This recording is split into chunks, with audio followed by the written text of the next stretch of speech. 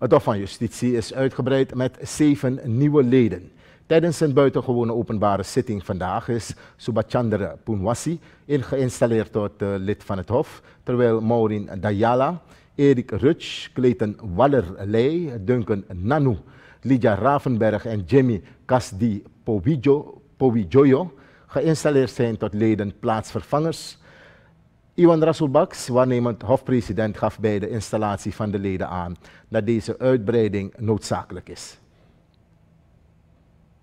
Vanwege de vele achterstanden en lange doorlooptijden in rechtszaken bestaat er al geruime tijd de behoefte tot verruiming van de capaciteit van de rechterlijke macht.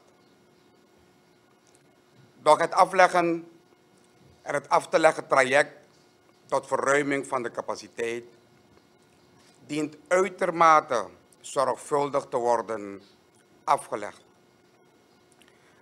En het heeft enkele hordes om te nemen. De in de grondwet gewaarborgde checks en balances tussen de uitvoerende en de rechterlijke macht spelen daarbij een rol en vereisen diplomatie, tact en overleg. Doch ook het zorgvuldig identificeren en selecteren van de kandidaten voor de behoeftestelling door het Hof, ten einde direct inzetbaar te zijn in de rechtspraak, heeft zijn bekommernissen. Rasselbach geeft verder aan dat het Hof het beleid van de regering ter versterking van de rechtspraak in Suriname als positief ervaart. Het stemt het Hof goed dat het beleid van de regering wat betreft de rechtspraak erop gericht is om de rechtsstaat Suriname rechtsstatelijk en staatsrechtelijk te versterken middels deze en andere concrete actiepunten. En ik noem enkele markante verbeteringen voor de rechtspraak.